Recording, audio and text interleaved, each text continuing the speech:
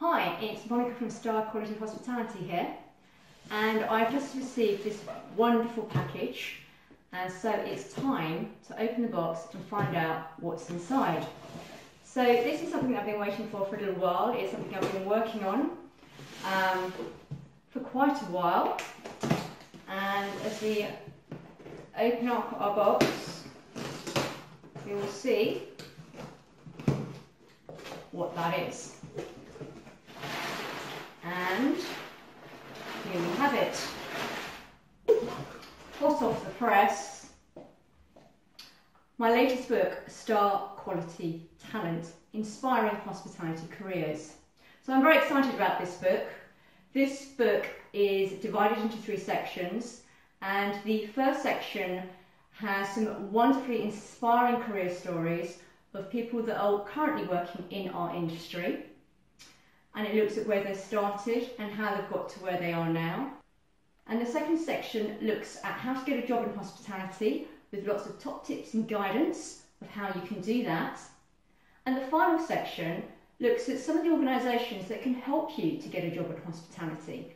No matter what your background, if you're a school leaver, a college graduate, you returning from a career break, um, you've fallen on hard times, whatever your story is, there's an organisation that can help you get a very rewarding career in the hospitality industry. A little bonus with this book is that as I was writing the book, I interviewed quite a lot of people, and all of those interviews were videoed, and for each of those videos, there are links within the book of how you can access that as well. I'm also very excited to have some wonderful um, hospitality professionals who have reviewed the book already and written some testimonials, including uh, Fred Sirieix, who is General Manager at Galvin Windows, and some of you may actually know him as the first dates maitre d' and more recently the million pound menu host as well. And the forward for the book has been written by Cyrus Todiwala, who is a chef patron of Cafe Spice Namaste, and he is also known as the celebrity chef on Saturday Kitchen and The Incredible Spiceman.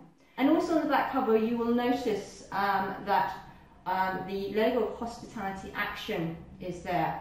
So um, Hospitality Action are mentioned in the book, as are many other organisations, um, but particularly with this book, it does support Hospitality Action. And the way that will be, I personally will be doing that is that for every review that is on Amazon for this book, I will be donating um, a pound to Hospitality Action. So the book is available on Amazon in both paperback and Kindle format. So please, you know, do have a look, have a read. I'm sure you will find it as inspiring as those that have contributed to it and those that have reviewed it already. And please do post up a review. Thank you.